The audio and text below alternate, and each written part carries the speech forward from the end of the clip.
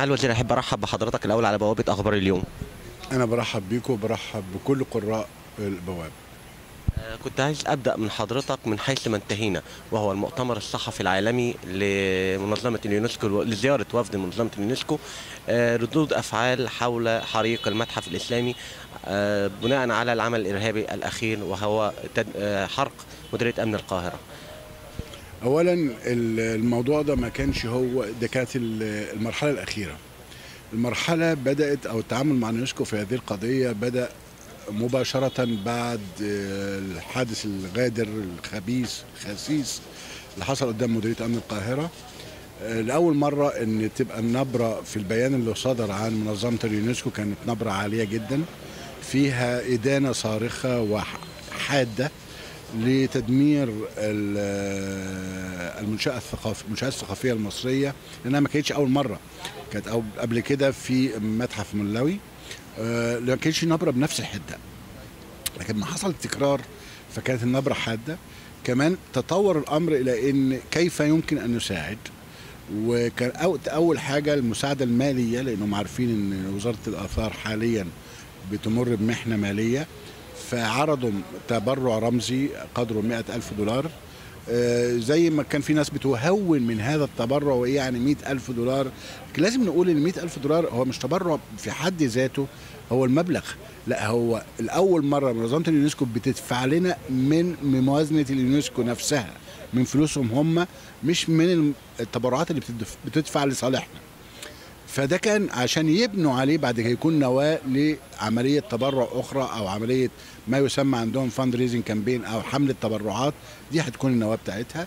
ثالثا امتد بقى مش تبرع مالي فقط ولكن أيضا تبرع فني إن يتم إرسال بعثة تقوم بدراسة الموقف ما هو حجم المعونات المطلوبة وما هو شكل المعونات المطلوبة. فكان لابد أن يرى رؤية العين. الحقيقة هم لما جم تاني يوم وصلوا يوم الخميس ليلا تاني يوم الصبح كنا في الموقع بيروا ما حدث الكارثة شكلها إيه وبالتالي بعد كده بدأوا عملنا المؤتمر الصحفي. المؤتمر الصحفي كان واضح جدا إن هم حتى الصور اللي كانت طلعت من المتحف الفن الإسلامي ما كانتش بتعبر عن ح- هول الكارثة. كيف يمكن أن ندمر متحف بهذه العظمة وبهذا القدر وبهذا الحجم الثقافي وحجم المقتنيات اللي فيه؟ فكان شديد جدا على إنهم يتخيلوه عن بعد إلا عندما حضروا إلى الموقع ورأوا ما تم إلحاق الضرر به من مقتنيات ومن مبنى أثري في حد ذاته. وبعدين آه، سافروا آه، إلى باريس بعثوا لي تقرير مبدئي لكن هم بصدد التقرير النهائي اللي سوف يعرض على مجلس إدارة المنظمة علشان يشوفوا هيعملوا إيه الخطوات التالية. هذا هو كان الوضع بالتفصيل. افهم من حضرتك ومن اجابه سعادتك إن منظمة اليونسكو لم تكتفي بالإدانة والشجب فقط ولكنها تبرعت في حدود الإمكانيات وإن كانت خارج الأعراف الدولية المتعارف عليها لمنظمة اليونسكو ب ألف دولار. آه، أقدر أقول إزاي نقدر نسوق أو وزارة الآثار استغلت هذا الحدث وجود وفد من منظمة اليونسكو لتسويق هذا الحدث الإجرامي لجماعة الإخوان الإرهابية. اولا الحمد لله إن كما شهد مجلس الوزراء وكما شهد حتى أعضاء منظمة اليونسكو وحتى رجال المجتمع المدني إن إدارة الأزمة في وزارة الأثار كانت على أعلى مستوى لهذا الموضوع. كيف استغلناه؟ اولا أنا يهمني في الأمر إن ان إحنا نعيد بناء ما تهدم ويترك جزء يكون شاهدا على ما حدث حجم الكارثة ومن قام بها والإجرام الذي قام به، لكن كيف يمكن تسويق هذا؟ تم تسويقه سواء قبل وأثناء المؤتمر الصحفي وبعد المؤتمر الصحفي. قبل المؤتمر الصحفي إن إحنا أعلنا للناس كلها إيه اللي حصل. تم التواصل مع كل سفرائنا في الخارج عن طريق وزارة الخارجية. أثناء هذا الحدث كان الحدث مذاع على الهواء مع كل تلفزيونات العالم. تم التواصل معي شخصيا من بعض التلفزيونات العالمية. المتاحف العالمية الخاصة بالآثار الإسل- أو فيها أقسام للآثار المصرية كلهم تم التواصل معنا كيف يمكن أن نقدم المساعدة؟ كلهم يعني على استعداد لتقديم المساعدة. بعض رجال المجتمع المدني في بعض الدول بدأوا يتواصلوا معايا لكي يقوموا هم نفسهم بعمل حملة للتبرعات. الإدانة كانت شديدة جدا عالميا مش بس في أوروبا في الامريكتين في اليابان في كل حتة كانت إدانة شديدة اللهجة على خلاف ما كان يتم من قبل. مع الوزير محمد إبراهيم هل نقدر نقول آه، هذا الحدث الإرهابي قدر يهز وزارة الآثار لدرجة إنها ممكن تفكر إنها بتغلق المتاحف والمزارات الأثرية؟ أنا بشكر حضرتك على السؤال ده. تعالوا نعرض الموضوع بشفافية مطلقه إذا كان المستهدف هو المتاحف ممكن نقفلها. لكن إذا كان المستهدف هو هوية مصر الثقافية وبقيه آثارنا إذا الموضوع هيبقى مختلف. ده أول نقطة لابد أن نطرحها. النقطة الثانية لابد أن تطرح. ماذا يمكن أن يحدث لو قفلنا المتاحف؟ قفلنا المتاحف. هل ممكن أن تمنع حجم كارثة مماثلة؟ ما أعتقدش إنها ممكن. لسبب بسيط قوي. أن أين هي المخازن التاسعة لهذه الآثار كلها؟ عملية تخزينها هتاخد مجهودات وأموال طائلة عشان توضع كل قطعة بشكل صحيح. مناخيا وامنيا وأمن القطعة نفسها يعني امنيا بوجه عام وأمن القطعة إن هي ما تتكسرش بشكل خاص. أين هذه المخازن؟ نمرة اثنين. نمرة ثلاثة المنشأة طب أصلها أساسا أثر. المنشأة اللي هي المتحف ما هو أثر. يعني متحف الفن الإسلامي ده كان أثر. المتحف المصري ما هو أثر. هل المشكلة هي المقتنيات فقط ولا المباني أيضا؟ اذا المشكلة إحنا كنا بنتحدث في مع اليونسكو قالوا من المستحيل بمكان إنك تتجنب مثل هذه الحوادث. لابد أن تجففها من المنبع. إنما عملية الغلق في حد ذاتها مش هي الحل. دي سبب ثانيا لابد أن ننظر إلى الجانب السلبي من عملية الغلق. معنى إن أنا بغلق المتاحف أنا بقول إيه للناس كلها في العالم كله؟ أن مصر غير آمنة. يبقى لن تؤتي ثمارها المرجوة في المقتنيات لأن المباني الإمكانيات مش مساعدة عشان تعملها. ثانيا ان المباني نفسها أثرية ثالثا هيكون هناك أثر سلبي. اذا المشكلة ما هياش بالسهوله بمكان بالشكل ده. لابد أن نأخذ في الاعتبار كل الجوانب السلبية. إحنا في أيام اللي كان فيه الصراع في أشده في التحرير كنا فاتحين المتحف المصري فاتحينه بيستقبل زوار. اذا العملية مش مجرد أن أغلق مكان. إذا إذا أغلقته وبعدين لغاية إمتى؟ والأثر السلبي وكيف يمكن تأمين الآثار بعد كده؟ في بعض الآراء بتقول لي حطها في مكان غير معلوم. أين هو هذا المكان الغير معلوم الذي يمكن أن يتسع لهذه الآثار؟ بك... بظروف مناخية مناسبة وبظروف أمنية مناسبة. من إجابة حضرتك أقدر أقول كم في المية نسبة تأمين المنشآت الأثرية في مصر؟ ضد إيه؟ ضد الس- السرقة ضد الحريق ضد الإتلاف ضد كل شيء. سرقة حريق مؤمنة 100% اتلاف مؤمنة 100% لكن حدث إرهابي خسيس بالشكل ده كيف يمكن؟ هل الانفجار اللي تم الخسيس ده اللي تم قدام كان مقصود بيه المتحف؟ هو كان مقصود بيه مدير الأمن لكن أثر عليا. لكن كيف يمكن؟ ما فيش دولة في العالم يحدث هذا في أثناء الحروب فقط. قد يقول إنك في حرب أوكي. لكن طب خلينا كده لا قدر الله حد حاول يعمل حدث إرهابي مماثل قريب من الأهرامات. هيطلع من هيخرج من يقول خبي الأهرامات؟ كيف يمكن؟ بعدين هقول لحضرتك حاجة. في بعض الآراء بتقول لي إن كان ممكن نحط شكاير رمل أمام المتحف الإسلامي. إلى أي ارتفاع؟ مبنى قد إيه؟ الم- أنا مش بتكلم عن المتحف بس أنا بتكلم عن المبنى كمان كاس لاي ارتفاع؟ دي نمرة واحد. نمرة اتنين الناس كلها شافت إن العمود الانارة اللي كان أمام المتحف طار مثل الصاروخ ودخل إلى جوه المتحف. الموجة الارتدادية لا تقف قدامها أي حاجة. فبالتالي عملية التأمين ضد هذه الحوادث الإرهابية التي أرجو ألا تتكرر صعبة جدا.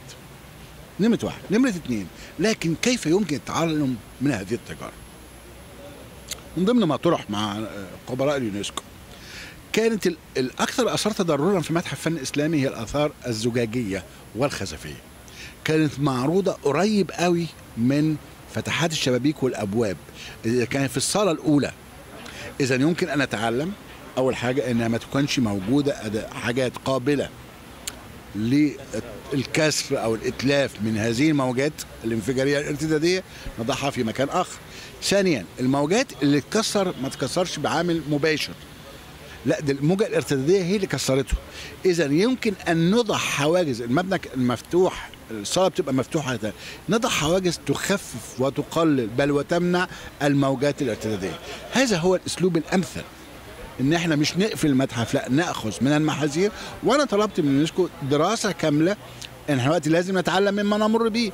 دراسة كاملة عن مو- عن شكل ال- ال- الأعمال الإرهابية وكيف يمكن لا اما منع ضررها أو تقليله. ملف آخر آه، معالي الوزير لو سمحت لي أقدر أفتحه مع حضرتك وهو ملف تمويل وزارة الآثار. حضرتك آه، شرفت بتولي وزارة الآثار على مدار ثلاث حكومات مصرية. آه، السؤال اللي بيطرح نفسه على عليا وعلى المشاهدين كلهم ان إزاي وزير الآثار في معظم تصريحاته بيعاني من عدم قدرة وزارة الآثار على الوفاء بأهم آه، التزاماتها حتى المادية لدى موظفينها سداد مرتباتهم. آه، هل في خطة لسيادة الوزير لمعالجة هذه الأزمة دي نمرة واحد؟ نمرة اتنين هل في دور لل- للمجتمعات المدنية والجمعيات الأهلية والحملات زي شفنا الآخر مبادرة الفنان محمد صبحي. زي ده هل ده مستقبلا في خطة لده؟ اولا آه، كيف يمكن أو كيف أمكننا استمرار السير استمرار الحركة؟ اولا كان هناك كثيرا من الأمور بدأنا نضيق تقليل الإنفاق. بمعنى أنا هقول لحضرتك بند واحد من الميزانية بتاعتنا قللت فيه حوالي ست شهور قللت الإنفاق 2 مليون جنيه. موضوع الانتقالات. منعنا المكافآت خالص. إذا بنحاول نقلل الإنفاق قدر ما نستطيع. كل جانب يمكن السيطره عليه بنقلله. ثانيا في الفترة الأخيرة بدأت احصل عن بعض التسهيلات الائتمانية من الحكومة. آه، صحيح بالدين وبالفوائد عليا لكن ما كانش هناك حل آخر. الحاجة الثانية إن إحنا بدأنا نحصل على بعض المعونة شوية في ناحية المشروعات لأن الموضوع مش لا يتحمل أو لا آه، يتجا- يتجاوز فعلا موضوع المرتبات والكلام ده. لا ده إحنا عايزين نرمم آثار عايزين نكمل مشروعات. فخدنا من الدولة بعض المعونات اللي تمكن العملية إن العجلة تسير صحيح ببطء شديد جدا لكن بتسير إلى حد ما. موضوع ال NGOs أو رجال المجتمع المدني أعتقد اننا لابد أن نتوجه بالشكر للفنان الكبير محمد صبحي انه منذ اليوم الأول لحدوث الكارثة اتصل بيا وقال لي أنت عايز كام؟ قلت له مش هقل عن 100 مليون جنيه قال إحنا ممكن نجمعهم من مصر وبالتالي أنا بطالب رجال المجتمع المدني إنهم يساعدونا في هذا الإطار كما يحدث في كل أنحاء العالم فبالتالي إحنا عملنا صندوق صحيح إن شاء الله هنعلن عنه كرقمه لأن طالبين رقم مميز وهيكون مفتوح لكل أعضاء الشعب وكل سواء داخليا أو خارجيا إنهم يمدونا بالمعونة لأن التراث ده إحنا كشعب مصري مسؤولين عنه عشان نسلمه بحالة جيدة للأجيال القادمة. وفي أيضا وفي نفس الوقت أيضا أن هذا التراث هو جزء من تراث البشرية. اذا الكل لابد أن يتكاتف داخليا وخارجيا في الحفاظ على هذا التراث. سؤال أكيد هيورد على على ذهني دلوقتي وهو الصندوق المزمع إنشاؤه. هل هذا الصندوق سيخصص العائد الخاص منه لترميم المتاحف ولا آه، سداد مرتبات العاملين بوزارة الأثار؟ على الإطلاق لن يدخل عشان كل ولا كنت دخلته أنا عندي صندوق التمويل. كنت دخلته فيه أنا عملت صندوق خاص. عشان اكد لك الناس كلها داخليا وخارجيا هيبقى في ما يسمى بمجلس إدارة مصري عالمي. ربما إحنا بنفكر في الفنان محمد صبحي هيكون موجود بعض الناس رجال رجالات الدولة هيكونوا موجود لكن هيكون في ناس من مختلف أنحاء العالم عشان يكون شفافية إن هذه الأموال اللي هم بيجيبوها هتتحط في الغرض المخصص له ولن يدخل مليم واحد منه إلى لا مرتب ولا أي شيء. هيكون مخصص بس ترميم الآثار والحفاظ عليها. ولا يخضع لق- لرقابة جهات معينة؟ عادة على حسب معلوماتي الاقتصادية إن أي دونيشن أو أي تبرعات لا يكون عليها ما بقاش عليها أي نوع من الضرائب. آه، ملف أخير وإحنا للسنة الثانية على التوالي في زيارة لمدينة دبي. شرف الجناح المصري بالقرية العالمية بمدينة دبي بافتتاح سيادتكم الجناح العام الماضي وكانت بادرة خير بأنه فاز بالمركز الأول تصميما وتنفيذا العام الماضي ويتمنى ينوى يحصل على هذا المنصب هذا العام. آه، شرف بافتتاح النموذج المقلد من المتحف المصري وسمعنا من المهندس إبراهيم جابر رئيس مجلس إدارة الشركة المنظمة للجناح إن السنة دي الشكل آه، الجناح بشكل تاني. آه، تقييم حضرتك لدور المصريين بالخارج لمحاولة الترويج للآثار المصرية. اولا أنا بقدر هذا الموضوع وده الهدف من حضورنا جميعا إلى هنا. محاولة جذب السياحة العربية اللي الدور اللي بيلعبه آه، أحد المستثمرين وهو الأستاذ إبراهيم هنا. أعتقد إن هو بيبدأ يلقي بعض الضوء على تراثنا اللي موجود في مصر ويكون بمثابة يعني بيسموها فاترينة العرض المبدئية حتى لو كانت آثار مقلدة لكي يجذب السائح العربي. اللي إحنا بنعاني من قلته بالنسبة للآثار أو ما يسمى بالسياحة الثق- السياحة الثقافية في مصر. وبالتالي أرجو أن يكون ده نوع من المعونة ويكون في ألف رجل أعمال يقدروا يعملوا نفس الحكاية وفي نفس الوقت هذه الأعمال أو هذه ال- الفاعليات تؤتي ثمارها في جذب السياحة العربية بالذات إلى آه، مصر. أكثر من كده. إن إحنا بنفكر جديا في إقامة معرض للآثار المصرية في دبي. وأنا بتحدث مع آه، أعضاء السفارة هنا وإن شاء الله أنا جايب معايا بعض الكتالوجات اللي هنشوف ممكن. إحنا بنفكر برضو كيف يفكر المواطن اللي موجود في هذه المناطق. آه، قد يكون هناك أنواع معينة من الآثار لا تجتذب الإنسان العربي. لكن إحنا دايما بنبحث عن اقولها معلش اسمح لي الزبون. أنا عندي هنا ناس أجانب ثقافات أجنبية وثقافات ثق- ثقافات عربية. اللي أنا بفكر فيه كيف يمضي أحاول أن ألبي طلبات الشقين. إيه اللي بدرس؟ إيه اللي يمكن أن يجتذب المواطن العربي؟ وماذا يمكن أن يجتذب من هو قادم لهذه المناطق من الأجانب؟ وبالتالي هيكون المعرض بمثابة خليط من هذا وذاك. دكتور محمد إبراهيم حصريا لبوابة أخبار اليوم. نقدر نقول إن زيارة الدكتور محمد إبراهيم معالي وزير الآثار لم تقتصر على افتتاح الجناح المصري بالقريه العالمية ولكن في مهام أخرى موكلة إليه خلال هذه الزيارة. إن شاء الله. إن شاء الله. لما تكتمل إن شاء الله هتعرفوا بيها إن شاء الله. شكرا معالي الوزير على هذا اللقاء. إن شاء الله. ربنا يخليكم قوي ليك